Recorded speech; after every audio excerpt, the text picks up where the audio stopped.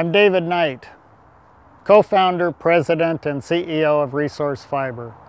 We're establishing the bamboo industry in the U.S. Here's why. We're back with our series Our Planet and a plant that is changing the way the world does business. The plant is bamboo, and these days it's being used to make a lot more than furniture. Here's our chief environmental correspondent, Ann Thompson. Pandas eat it, but you can wear it, walk on it, even use it to dry off. Bamboo, touted today is good for you and the environment. Comparable to cotton, bamboo requires less water and fewer pesticides to grow. Yet as it grows, bamboo absorbs carbon. Fast growing and strong, bamboo is the foundation of David and Ann Knight's Seattle home and flooring business. This is how they grow in the field. They'll grow about 80 feet tall in a matter of 40 days. And don't worry, these guys won't go hungry if more humans use bamboo. The species they like and we engineer are different. In this case, what's good for the people is good for the panda. Ann Thompson, NBC News, New York. The U.S. fuels the $35 billion global bamboo industry as the largest importer of bamboo products. But the U.S. isn't capitalizing on this sustainable industry. Bamboo is an incredibly versatile, renewable, and resilient resource. It's also a complementary raw material fiber to wood and an alternative to petroleum-based products. It's rapidly renewable, growing up to two feet a day.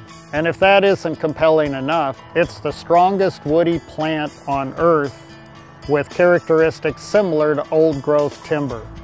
And it absorbs five times more carbon than a similar stand of trees. In 2016, we plan to begin to manufacture innovative bamboo products such as decking for commercial trailers and shipping containers, cross arms for the utility industry, and an assortment of construction products.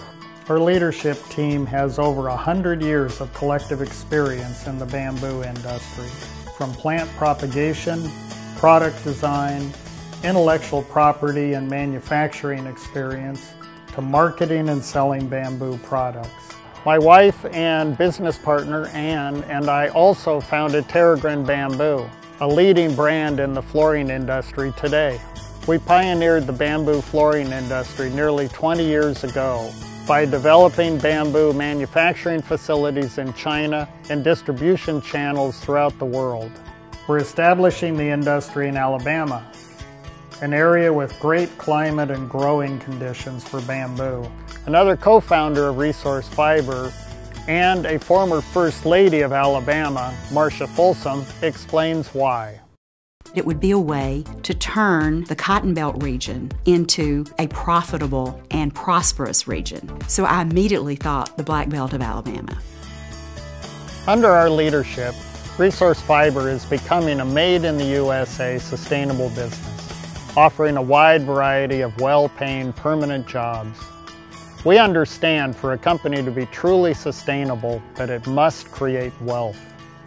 It's a rare opportunity to enjoy exceptional upside potential, establish a new U.S.-based industry, and make a significant social and ecological contribution to society. How cool is that?